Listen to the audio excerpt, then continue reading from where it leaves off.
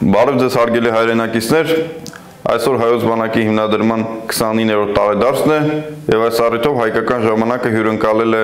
Հայաստանի ազգային հերոս կապիտան Ռուբեն Սանամյանին։ Բարև ձեզ պարոն Սանամյան, նախ շնորհավորում ենք ձեզ բանակի հիմնադրման 29-րդ տարեդարձի արդիվ։ Բարև ձեզ, շնորհակալ եմ հրավերքի համար։ Պարոն Սանամյան լրանում է հայոց բանակի հիմնադրման 29-րդ տարին։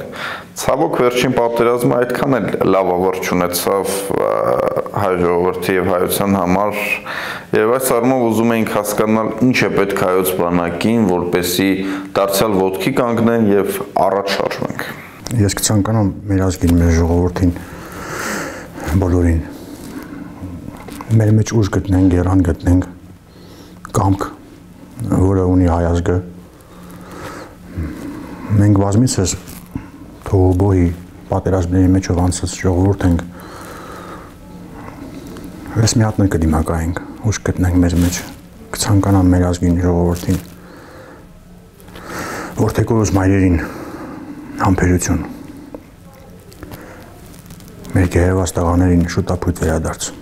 ասում են այսօրը հատկապես սպաների համար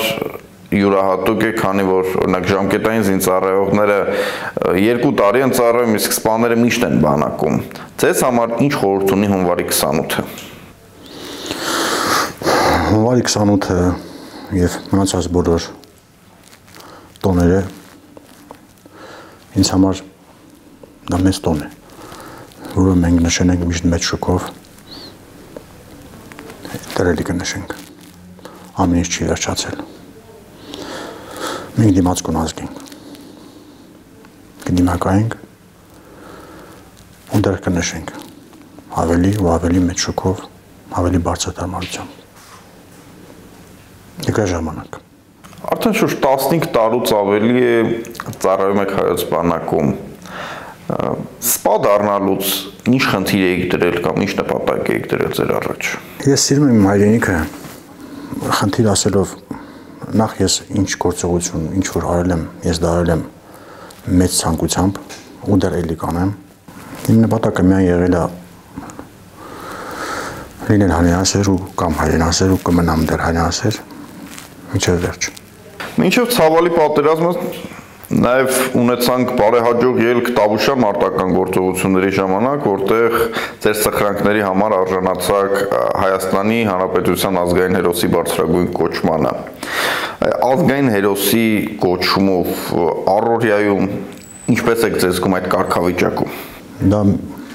ոչ թե մեծ, այլ գերագույն պատասխանատվությունը քո արժև դրված, որը պետք է կատարես մեծ պատվով անխնդիր։ Օրինակ ծառայես քո մատաղ սերունդին, ոգեշնչես, դրական լիսկերով լցնես։ Վերջին պատերազմի ժամանակ ադրբեջանցիները ձեր մասին ապատեղեկատվություն էին տարածել եւ ձեր հակադարձումը տեսաուղերձի տեսքով կարծես թե այդ ժամանակ քանդես նրանց տեղեկատվական նպատակները։ Ի վերջո, ո՞րն էր պատճառը, որ ձեր դեմ այդպիսի տեղեկատվական արշավ էին վարում։ Այսօր ադրբեջանական բանակը մեծ շուկով տոնում է իր հաղթանակը, սենց ասած, բայց ես դա չեմ համարի իրենց հաղթանակ։ Իրենք չեն հաղթել։